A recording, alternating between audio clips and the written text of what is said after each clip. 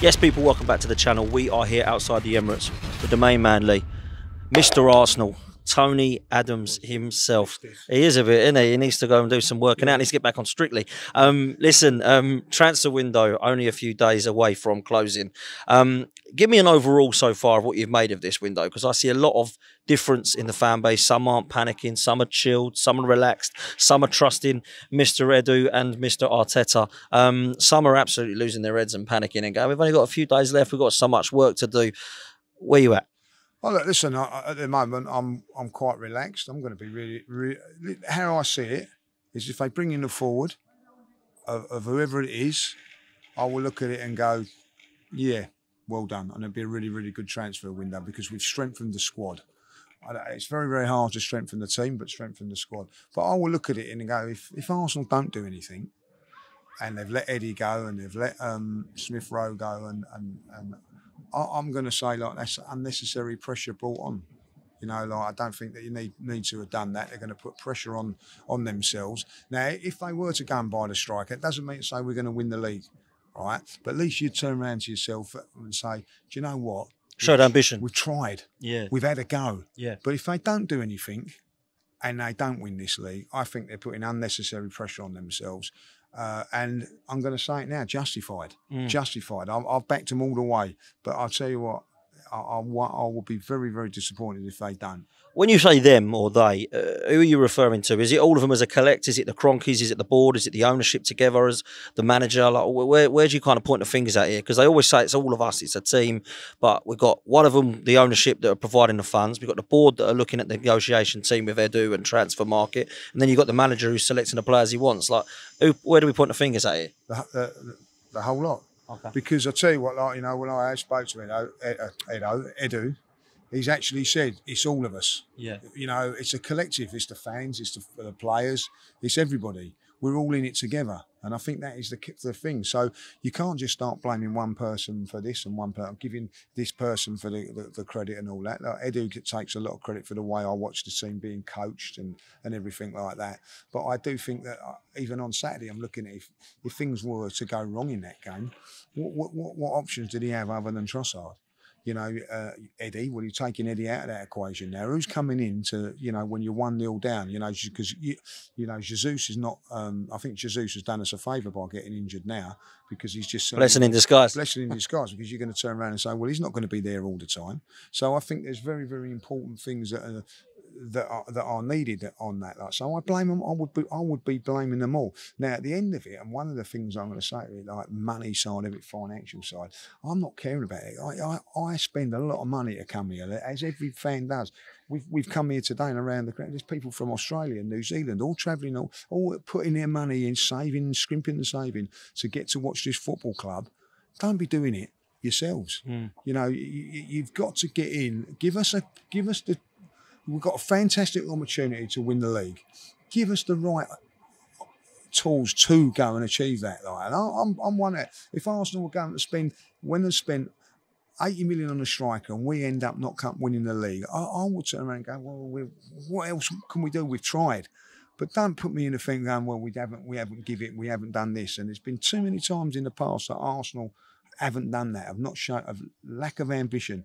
Please, we're in a position now where we can go on, move to this fantastic stadium for moments in a mm. transfer window like this. Now, at the end of the day, it won't be the end of the world if we don't get it because we've still got a very, very good team. But you're playing four more Champions League games now. Like, you ever, if you look at the Champions mm. League now, January, you've got go, you know, got, January, like you play Christmas and then you've got January, which is a tough, tough time. You've got another two Champions League games in that, like, you know. So I think it's massive that Arsenal make sure they get the right, right job done. Personally, I think that they will do. Mm. What about you? I, I think we're going to get a forward. I don't know who it's going to be. I don't know what position it's going to be. If it's going to be a striker, one that can cover all three, or if it's going to be an out and out winger. The reason I want a striker is because if Jesus is fit, he can cover for Saka. And we have seen Martinelli go over there. I don't think we've got anything up top other than Havertz at the moment. Eddie's now gone. Jesus can't show himself that he's fit. A number nine is he a number nine? Not for me. I think Jesus has had better games at Arsenal from the wide positions. When he does play in the nine, he's over there anyway.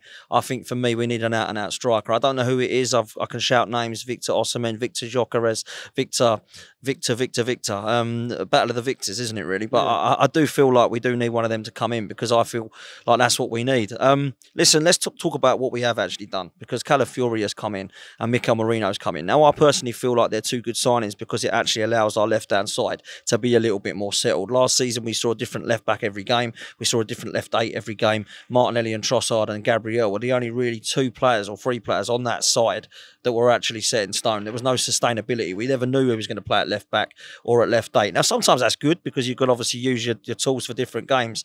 I think these two players, once they do get settled, will be set in stone. And that right hand side that's so set will now look like that left hand side. So the two that have come in, Lee, I'm okay with. Oh yeah, without doubt, very very good. Strengthens the whole side up, strengthens the squad up. Squad's got more quality. You know, you got two. You brought in two internationals of of, of high pedigree. Yeah. You know, Spain and Italy, they're not they're not squad players for those um, countries. They're in. You know what I mean? Like, you know, Merino not so much, you know, but listen, they're just they're Euro champions. Well, he contributes. He, he contributes, contributes, for Spain. He scored, you know, a great goal against Germany. Yeah, he comes on as a sub. He does a job in there, like you know, it's part of the. You know, it's not about starters now. It's about that squad, and that's what I think we've got to understand. Yeah. Like you know, we, when people got me on, where's he going to play? I don't care. when when we were signing players like Reyes come to the club, mm. I never heard anybody going, where's he going to play? Like, yeah, it's great. It's another player to to the totally squad, and and I think that is the the difference as a fan now is that two three year ago we were looking at players to improve the team improve the 11. I think now what we're, we're, at a stage where we, we want to improve the squad it's going to be very, very hard to improve the 11. You know, people go, oh, you've got, you know, listen, it's just on the back of what they've done and yeah. the run they've had. It's very, very difficult. But what you can do is that when one of these drops out, someone comes in that's a, a, of the same ilk, and that's what we're doing. So it's about, for me, in really improving the squad, which we've done. But when you look at it, look at all the options at the back. You look at the back, look at the substitutions on on, on Saturday, the back players, the defensive players, and that's without Tomiyasu, by the way, who's not here. The midfield, if you're now bringing Merino like looking mm. looking pretty strong, you've got Merino Jorginho mm-hmm. in there. You could probably put Nwaneri, who I think is going to be as well. Partey, like you know, if they're playing whatever. Then I look up front. It's just not at the same no. strength of those. Those it's, it's unbalanced. It's not healthy. So they need to do something. And you know, a lot of people, and I get a lot of the fans that are saying to me, "Well, you've had all summer to do this. Why have you done?" we all know that the transfer window sometimes it, it is what it is, and it is like the last minute things. It doesn't mean to say you're desperate and all that. Sometimes it means you're keeping your powder dry, and I think that's what we're doing. Well, I bloody hope so anyway. Yeah, I hope so as well. Listen, to end, in terms of the actual players that might still leave, Aaron Ramsdale being one of them, Reiss Nelson is another one, Kivior as well being linked with room, rumours of, uh, of Serie A. Do you expect to see many outgoings as you do incomings, or do you think that it will be maybe one or two that leave and maybe one or two that come in? I, I, think obviously Eddie's going to go to Crystal Palace. I think that's looking like it's going to happen. I'm not. I don't know what's going to happen with Nelson. Mm. There's been no real links of him and all that. Like, so they might be just thinking, well, we'll, we'll stay with him. Uh, Aaron Ramsdale, you know, I, I, can't believe what's happening there. Like, you know, um, I hope he does get a club, but then of course you don't want to leave yourself short with a goalkeeper because uh, you know, like Sod's law, like you know, I mean, you, you sell Aaron Ramsdale or mm. put him on loan, and then it, you know, something happens to Ray. Sod's bloody law. yeah, so I think if you're going to do that, you've got to bring another goalkeeper in. so I, I, think you know, listen, I, I, think that Aaron will go like in the last day or so, like you know, where I don't know, but um, you know, and, and so I think a goalkeeper will come in, and and hopefully, like you know, two more players will come in, like you know. That's what I'm hoping. Um, just lastly, to rate this window now, what would you rate it? And then, second of all, if we brought that striker in, what would you rate it then? Well, that's a great question. At the moment, I'm I'm saying five because we haven't got what we want out of this window. If you if if it was to finish now, I, I think it would be a very very underwhelming window because when I look at it and I think, right, before this transfer window and at the end of last season, what did you think that we needed? I would have gone uh, a top, top central midfield player and a striker. So we've got a midfield player, but I don't. I'm not saying he's the one that they really, really want. I don't know. You know what I mean? I don't. I don't we'll, we'll see.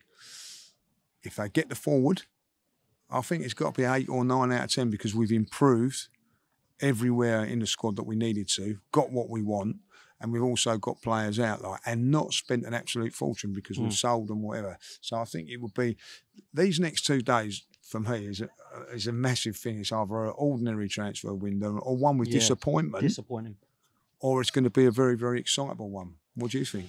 Well, I'm not going to be as kind because I feel like it has been disappointing and deflating right now. So I'm going to give it no more than a four right now. However, I wanted at the start, I wanted a goalkeeper to come in because I thought Ramsdale was going. I wanted a defender, which we've got. I wanted a midfielder, that we've got. But I feel like we needed a right winger and a striker.